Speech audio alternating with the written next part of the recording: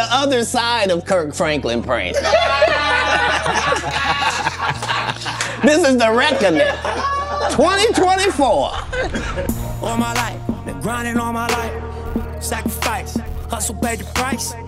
Want a slice, got to roll the dice, that's why. All my life, I've been grinding all my life. Look, all my life, been grinding all my life. Sacrifice, hustle, pay the price. Want a slice, got to roll the dice, that's why. All my life, I've been grinding all my life.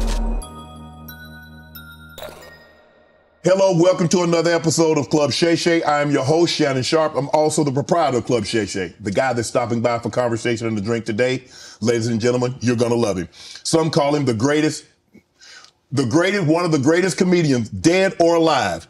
One of America's greatest entertainers, one of the funniest men on the planet, world renowned, multi talented, a comedy legend. He's touring, t- he's the top touring comedian selling out arenas. He's a hilarious storyteller, Emmy award winning actor, voice actor, rapper, writer, producer, director, icon, genius, a national tre- treasure, philanthropist, humanitarian, social activist, a father, one of the great funny men of our generation and any generation, Mr. Katt Williams. Thank you, sir. How was that intro? magnificent. I- you are you are you are magnificent at intros, and you did not skimp on mine. I appreciate it. Appreciate that. Nice. You know, anytime you come to Club Shay Shay, we have to toast. Yes. Bro, you've been doing it.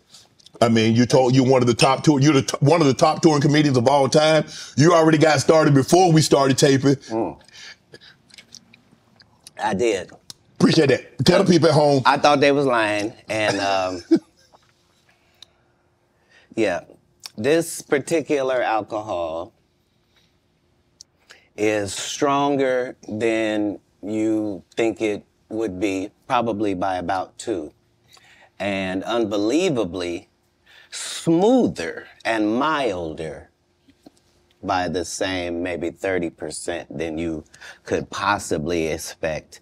And unlike cognacs the world over, this one doesn't taste like wood at the end, and it doesn't taste like it's got artificial colors, and it doesn't taste like it's got artificial flavors.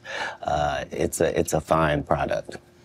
He's a connoisseur. You can tell he's a connoisseur. He's a cognac connoisseur. He understands the method that goes into making cognac. Right. Well, as a comedian, you get free drinks at the club. so all comedians either turn out to be connoisseurs like myself Right. or straight up and down alcoholics like 60% of Hollywood. Well, thanks. Thanks for stopping by the club. I understand Thank that you're very, very busy, and for you to take time out of your busy schedule and stop in today, we really, really appreciate it here at Club Shay Shay. Thank so thanks for so stopping much. by, Katt. and I needed you to know why I came by. Yeah, I need you to tell us why. People know I don't go everywhere. I'm not interested in talking to people unless it's like a Larry King or somebody of an amazing ilk that I would actually want to go talk to in real life. Okay. Um, I don't do it so I can sell product and then I got